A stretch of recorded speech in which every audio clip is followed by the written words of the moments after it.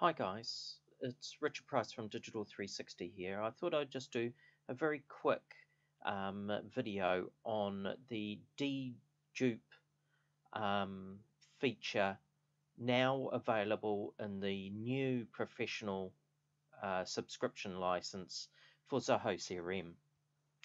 So if you just go to contacts, for example, you go to contact tools and it's got deduplicate contacts. So you go into here. This is wizard driven, so you can select one of these um, uh, selections here.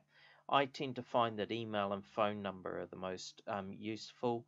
Account name is not very useful because if we've got multiple contacts for an account, then it's uh, going to show all of them.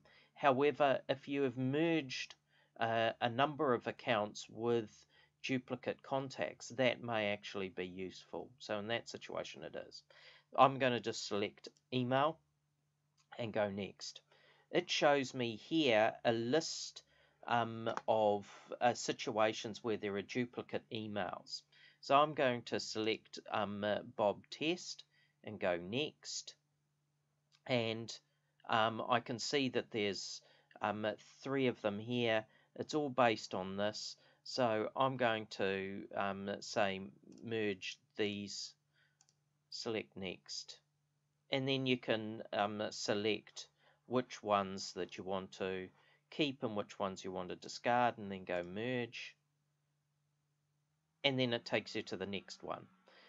That is um, a, a big difference to um, what you would normally do if you're on a standard or an old professional license, which is that you would have to um, open up the actual record itself. So if I go in here and go um,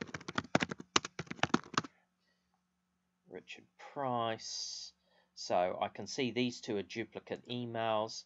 I open that up. I've then got to go into more actions, find and merge duplicates.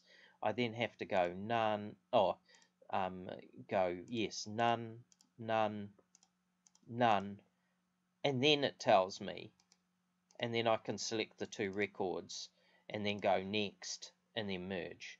So you can see how many more steps you've got to go through um, to to do that. Whereas the um, the the deduplicate um, contacts wizard just simply gives you the choices and you just crank on through and and this list shrinks. So you could probably do um, I would say um, comfortably if you um, if you click here.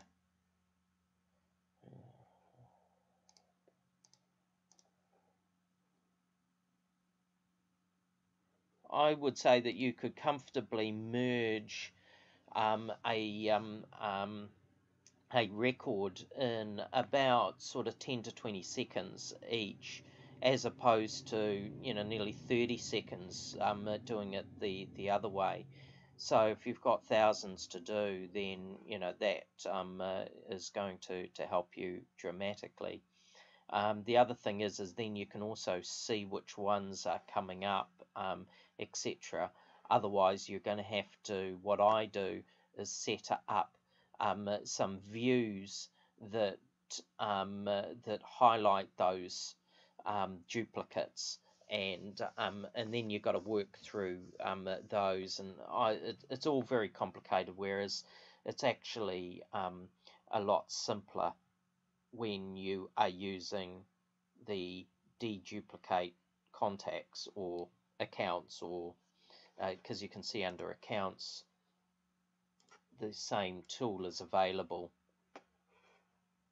It's just got slightly different um, criteria um, uh, which you can go through. So if you go into here, I don't know whether I've got any accounts. No. Um, phone numbers. No. So I don't have any actual account duplicates at this stage. Um, so that is is one of the benefits of upgrading from um, your old professional plan to a new one. The only problem is, of course, there's an increase in cost, perhaps. Um, uh, but I'll I'll do that in a in a in a separate video. If you're not using too many of the add-ons, um, then uh, there will be a cost increase. Um, but if you're using, um, uh, say, um, two or more add-ons, um, as well as just the standard professional license under the old model, um, you may actually have just a marginal increase in cost. Because, for example, the old professional license was $12 US per user per license, and if you had the mail add-on and say the, um, the Outlook add-on or the Office add-on, um, they're three dollars each, so that's six, um, twelve, that's eighteen. Whereas the new professional license is twenty dollars, and it includes all the add-ons. Um, so uh, you don't have those those additional um, costs. So um, you do save if each one of your users is using three or more add-ons under the old license. If you've got any questions, um, feel free to drop me an email, richard at digital360.co.nz. Thanks for watching. Have a nice day.